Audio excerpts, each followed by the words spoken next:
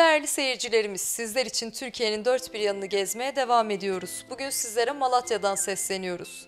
Yanımızda uzman psikiyatrist Özgür Bey var. Şimdi hep birlikte değerli bilgilerini alacağız. Özgür Bey, öncelikle programımıza hoş geldiniz. Nasılsınız? Çok teşekkür ederiz. Hoş geldiniz Malatya'mıza. Hoş bulduk, çok teşekkür ediyoruz. Öncelikle bizlere ve izleyicilerimize kısaca kendinizi tanıtır mısınız? Özgür Bey kimdir? Ee, yaklaşık 20 yıla yakındır Malatya'da yaşıyorum. Ee, tıp fakültesi eğitimim, uzmanlık eğitimim ve sonrasındaki e, klinik açma süreciyle beraber psikiyatrideki çalışmalarımız burada uzun zamandır devam etmekte. Ee, uzmanlığımdan sonrasında da e, sürekli Malatya'daydım. E, farklı yarın doçent döneminde bir Karabük e, sonrasında alternatif birkaç kısa süreli bir ayrılışlar olsa bile net bir ayrılış değildi aslında. E, Kozalite Kliniği açılana kadar da devlet hastanesi, eğitim araştırma hastanesi Üniversitesi'nde çalışmıştım. Şimdi de açtığımız klinikte hizmet vereceğiz. Burada da özellikle ruh sağlığı, özellikle çocuk ve yetişkin ruh sağlığı alanlarında beraber çalıştığımız ekip arkadaşlarımızla beraber Malatya'ya hizmet etmek için buradayız. Peki Özgür Bey, kendinizi tanıttınız. Ee, çok teşekkür ediyoruz. Biraz da kliniğimizi tanıtmanızı rica ediyorum sizlerden. E, kliniğimiz Kozalite e, Psikiyatri Merkezi. Kozalite e, nedensellik ilkesini ifade eder. Hastalarımıza e, yaklaşım tarzımız da bu çerçevede olacak e, olmakta. Her bir e, sonucun aslında bir nedeni veya birden fazla nedeni olabilir. Bu çerçevede öncelikle kliniğimiz ayrıntılı bir e, sorunların nedenlerine yönelik incelemeleri yapıp ardından bu nedenlere yönelik müdahaleler ve sonrasında hastalığın tekrarının önlenmesine yönelik müdahaleler amaçlı kurulmuş bir klinik. E, en iyisiyle, en mükemmeliyle, teknolojik anlamda en iyi teknolojiyle, çalışan arkadaşlarımız anlamında işin donanımlı kapasiteli arkadaşlarımızla veya bu konuyla en iyi olan uzman hocalarımızla beraber çalışıyoruz. Bu çerçevede Kozalite Kliniği her anlamda e, ruhsal hatta e, psikiyatrik hastalıkların çoğu zaman e, bedensel hastalıkları tetiklediği göz önüne alınırsa birçok hastalık grubuna destek ve tedavi hizmeti veriyoruz. Peki Özgür Bey, tam olarak burada kimlere tedavi veriyoruz ve ne tür terapi yöntemleri kullanıyoruz? E, kliniğimizin çocuk ve ergen psikiyatrisi bölümü e, 18 yaş altı çocuklarımızın hepsine hizmet verebilmekte. Yetişkin psikiyatri kısmında çalıştığımız arkadaşlarımızla ve ben de dahil olmak üzere e, hemen hemen tüm psikiyatrik hastalıklara destek sağlamaktayız. Hangi grup hastalarımıza daha çok e, yardımcı oluyoruz derseniz özellikle işte gebeler, e, özellikle durumu arz eden, ilaç kullanamayan kimseler, e, depresyon, anksiyete, duygu durum bozuklukları, madde kullanımı, sınav kaygısı ve benzeri birçok konuda destek sağlıyoruz. Kliniğimizin şöyle bir özelliği var. E, alanında en iyi olan kişileri özellikle beraber çalışalım diyoruz. Örneğin bölgemizde muhtemelen cinsel terapiler konusunda e, kısmi sıkıntılar yaşanıyor ama bu konuyla ilgili e, direkt eğitimli, tecrübeli arkadaşlarımızla beraberiz. Örneğin sınav kaygısıyla ilgili çok e, ciddi bir e, hazırlığımız var. Bu konuda ciddi destekler sağlıyoruz. E, Anksiyete, depresyon, e, bipolarite, e, şizofreni benzeri hastalıklarda ciddi destek sağlıyoruz. E, Ayrıca madde bağımlılığı konusunda ciddi danışmanlık ve destek hizmetleri veriyoruz. E, Kliniğimizin altyapısı da zaten bu anlamda, e, az sonra sizi de gezdiririz kliniğimizde, e, bize e, ciddi kolaylık sağlayacak bir yapıda hazırlandı. Bu anlamda e, hemen hemen tüm psikiyatri konularında olabildiğince e, en üst teknoloji ve en yenilikçi te- tedavileri uygulamaktayız. Peki Özgür Bey, hangi terapi yöntemleri kullanılıyor bu alanda? Özellikle e, kliniğimize başvuran hastalarımızın şikayetlerine uygun bir şekilde verilen e, tanı ve bu tanıya uygun tedaviler sırasında kişiyi takip edecek hekimimiz örneğin bilgisayar davranış terapi yöntemini uygulayabilir veyahut e, karar kabul terapisi veya kişinin ihtiyacına göre o terapi ve görüşmeler sırasında hipnoz veya EMDR dediğimiz yani göz hareketleri duyarsızlaştırma ve benzeri teknikleri e, uygulayacak e, donanımlı arkadaşlarımız e, bizlerle beraber e, bu çerçevede e, psikiyatri, alanında alınması gereken tüm terapileri rahatlıkla burada e, sunabiliyoruz. Peki teknolojiden çok bahsettiniz aslında. Teknolojinin hangi alanlarında burada faydalanabiliyoruz? Özellikle bize başvuracak olan hastalarımız psikiyatrik alanda başvuracağı e, ve bu psikiyatrik hastalıkların özellikle e, son dönemlerde cid- ciddi anlamda yükselmesiyle beraber e, teknolojinin de gelişmesine e, fırsat bilerek aslında bu hastalıkların çözümünde yeni teknolojileri ciddi anlamda kliniğimizin altyapısına yerleştirmeye çalıştırdık, çalıştık. Örneğin e, transmanyetik stimülasyon dediğimiz bir e, tedavide kullanılan cihazımız özellikle FDA'nin e, olur verdiği yani özellikle depresyon, sigara bağımlılığı ve obsesif kompulsif bozukluk dediğimiz hastalıklarda olur verdiği durumlarda özellikle rahatlıkla kullanabildiğimiz bir cihaz. Beraberinde işte anksiyete bozukluklarını, kısmen kanıt düzeyi e, daha düşük olmakla beraber madde bağımlılıklarını kullanabildiğimiz bir TMS cihazımız veya e, e, içerisinde arttırılmış sanal gerçeklik gözlüğümüzle tedavi verdiğimiz yani VR odamız var. Özellikle fobilerde kişilerin korktuğu, kaygılandığı objeyle kademeli bir şekilde kişiyi karşı karşıya bırakıp bu korkusunu, kaygısını kontrol etmesine yardım ettiğimiz veyahut e, kişinin örneğin bir demans hastasının unuttuğu, hatırlamakta zorlandığı şeyleri kademeli bir şekilde tekrar hatırlatmak amaçlı kullanabileceğimiz e, artırılmış sanal gerçeklik gözlüğümüzle verdiğimiz tedavi beraberinde belki bir depresyon hastasının uzun zamandır çıkamadığı, göremediği, iletişime geçemediği kişileri göstermek ve o ortamlara götürmek anlamında yaranabileceğimiz bir tedavi. Daylight tedavimiz var. Özellikle bu mevsimsel depresyonlarda kişilere yüksek yoğunluklu, 10 bin lüks ve üzeri yoğun parlak ışık tedavisini uygulayabildiğimiz bir tedavi ünitemiz, bir odamız var. Aromaterapi e, anlamında e, her bir hastalığımıza özgü e, uygulanabilecek uzmanlarımızın belirlediği e, kürler sağlanabilir.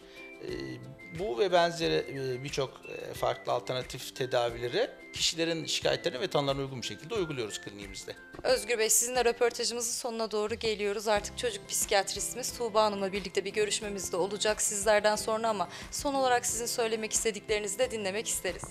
Öncelikle tekrar teşekkür ediyoruz Malatya'mıza geldiğiniz için. Biz de Malatya halkı için mükemmel bir klinik hazırladığımızı düşünüyoruz.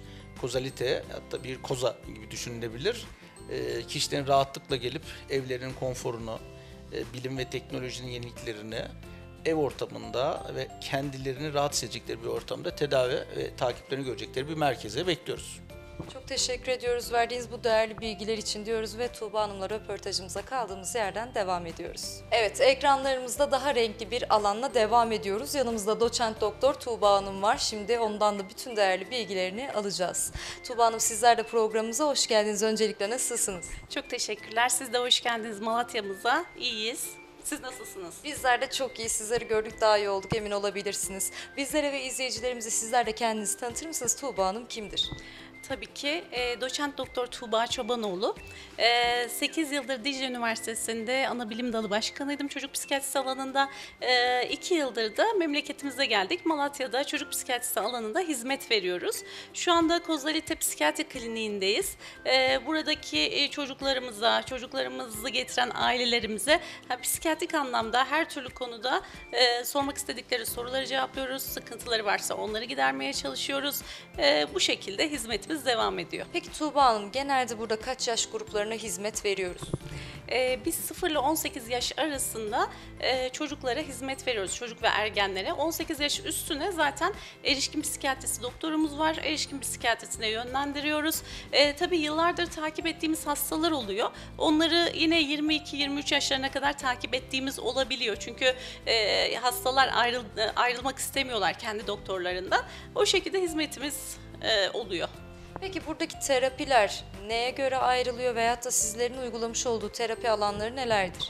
Ee, biz erişkin psikiyatride de çocuk psikiyatrisinde de bilişsel davranışçı terapiyi çok sık kullanıyoruz. Ee, aileler de genellikle hani ilaç tedavisinden çok terapi e, hizmetini görmek istiyorlar. Biz de e, ona yönelik terapiler yapıyoruz. Bunun dışında travma sonrası stres bozukluğunda EMDR dediğimiz EMDR yöntemi var.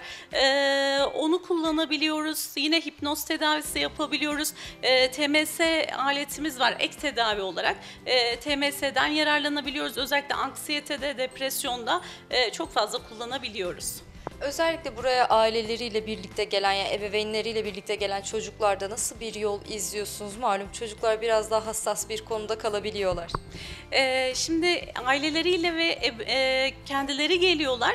Ee, gelen çocukları biz bazen öğretmenlerini arayabiliyoruz. Ne kadar çok kişiden bilgi alırsak bizim için o kadar iyi. Ee, ilk geldiklerinde e, en az bir saatimizi hem çocukla hem ebeveynle geçiriyoruz. Ee, eğer çocuk küçükse oyun odamız var. Oyun odasında gözlemliyoruz. Sonrasında ailelerle e, görüşüyoruz. Gerekirse öğretmenlere kendilerine formlar veriyoruz. Bunların hepsiyle birlikte çocuklarımızı değerlendiriyoruz. Evet şu anda değerli izleyicilerimiz görmüyorlar. Tabii ki de birazdan ekranları başında göreceklerdir ama önümüzde büyük bir cam var ve bu odanın arkasında bir oyun adası var. Ama çocuklar oradan bu alanı göremiyorlar. Göremiyorlar. Bu tek taraflı. Ee, biz onları görebiliyoruz, onlar bizi göremiyorlar. Ee, orada kendi evlerindeki gibi oyunlarını oynuyorlar. Ee, biz onları buradan takip ediyoruz. Ee, işte oyuncağı amacına uygun oynuyorlar mı? Ee, aileleriyle oynarken nasıl davranıyorlar? Göz teması kuruyorlar mı? Ee, sordukları sorulara cevap veriyorlar mı? Oyunlarda e, mesela bazı çocuklar arabayı alıyorlar sadece tekerlerini çeviriyorlar. Ee, bunları e, ne amaçla oynuyorlar? Ya da sadece oradaki oyuncaklara hiç dokunmuyorlar. Kendi etraflarında dönüyorlar. Hiçbir şekilde etrafla iletişim kurmuyorlar. Biz bunları e, buradan çok daha güzel gözlemliyoruz. Tamamen gözleme dayalı tabii ki de çocuklar. Çoğu anlatmak istedikleri şeyi anlatamayabiliyorlar, kendilerini ifade edemeyebiliyorlar. Bu durumda da sizler burada başrolü oynuyorsunuz diyebiliriz. Peki Tuğba Hanım nelere dikkat ediyorsunuz işinizi yürütürken? Ee, bizim için e, aileler ve çocuklar sanki kendi ailemiz, kendi çocuklarımız gibi davranmaya çalışıyoruz. Çünkü e, hiçbir şekilde onların haklarını e, gasp etmek istemiyoruz. Yani hani buraya geliyorlarsa hizmetlerini en iyi şekilde nasıl alabileceklerse kendi ailemiz gibi davranarak e, hizmet etmeye çalışıyoruz. E, çünkü onlar bizim için çok değerli ve çocuk psikiyatrisinde tanı koyup e, eğer çocuğu bir şekilde bir yerden yakalayıp tedavi ettiğimizde e, gelecekte o sıkıntısı tamamen düzelebiliyor. Ama tedavi etmediğimiz takdirde bazı şeyleri kaçırdığımız zaman o zaman o çocuğun bütün hayatı etkilenebiliyor. O yüzden o çocukları kendi çocuğumuz gibi e, alıp o şekilde değerlendiriyoruz. Peki evet buraya ebeveynleriyle geliyorlar. Tabii ki de aileleri kontrollerini sağlıyordur ama sizlerin randevu sistemi ne şekilde ilerliyor? Sürekli takibini nasıl sağlıyorsunuz? Şimdi hastadan hastaya değişiyor. Mesela çok sık gördüğümüz hastalar oluyor. Eğer e, hastalığı şiddetliyse, e, sıkıntıları çok yüksekse, e, işte ölüm düşünceleri varsa e, o zaman çok sık. Mesela üç günde bir gördüğümüz hastalarımız var. Her gün gördüğümüz hastalarımız var. Ama hani çok e, fazla sıkıntısı yok ya da bizim ona çok fazla katkımız olmayacak. Sadece takip için çağıracaksak ayda bir görüyoruz, iki ayda bir görüyoruz, üç ayda bir görüyoruz. Hastadan hastaya değişiyor. Peki seans saatleri ortalama olarak ne kadarı buluyor? Seansımız bir saat. Ee, en az bir saat. İlk gelen hastada bazen bir buçuk iki saati bulabiliyor. Ama kontrollerde biz artık o hastayı tanıyoruz. Ee, artık hani soracağımız sorular belli. Biz hastayı tanıyoruz. Ee, sadece hani gidişat nasıldır ya da terapi yapıyorsak yine bir saat. Ee, ama terapi yapmıyorsak bu 40 dakikaya kadar düşebiliyor. Genel anlamda bir saat diyebiliriz. Tuğba Hanım öncelikle ekran başında olan izleyicilerimize söylemek istediğiniz, aktarmak istediğiniz bir mesaj var mıdır? Bunları almak istiyorum sizlerden. Çünkü biliyorsunuz psikiyatri deyince insanlar biraz hala ki günümüzde maalesef geri durabiliyorlar. Ee, Malatya şehrindeyiz. Burası Doğu Anadolu'nun bir e, şehri. Ee, Doğu Anadolu ve Güneydoğu Anadolu'da bakış e, açısı psikiyatriye ve çocuk psikiyatrisine biraz farklı olabiliyor. Yani çekinceleri olabiliyor. Ee, işte biz deli doktoruna gitmek istemiyoruz. Hem gençler hem işte yetişkinler istemiyor bunları ya da işte e, ben psikiyatriye gidiyorum demek istemiyor. Hani kimsenin duymasını istemiyor. Aslında hani buraya geldiklerinde ya o kadar da kötü bir yer değilmiş. Aslında kimse hiç de aşağıda deli görmedik biz e, diye geri dönüşler çok fazla oluyor. E, yani buranın korkulacak bir şey olmadığını, aslında yurt dışında en çok gidilen doktorların psikiyatristler ve çocuk psikiyatristleri olduğunu bilmek lazım. Burada e, baş edemediğiniz her türlü sıkıntıyı bir uzman eşliğinde e, halledebiliyoruz. Yani buraya kadar ben şimdiye kadar niye gelmedim diyen bir sürü hastamız var bizim. Ee, o açıdan e, rahat bir şekilde gelip ortamı görebilirler. Rahat bir şekilde muayenelerini olabilirler ve gerçekten korkulacak bir şey olmadığını görebilirler. Aslında sizler bu alanda gerçekten başta da söylediğim gibi çok manevi ve yüksek değer gerektiren bir meslekle uğraşıyorsunuz. Aynı zamanda bir rehber ve kılavuz görevi de görüyorsunuz bu alanda. Tekrardan yaptığınız bu kutsal mesleğe saygılarımızı sunuyoruz. Verdiğiniz tüm değerli bilgiler için Özgür Bey'e de sizlere de ayrıyetten çok teşekkürlerimizi sunuyoruz. Bir sonraki durağımızda görüşmek üzere diyoruz. Hoşçakalın.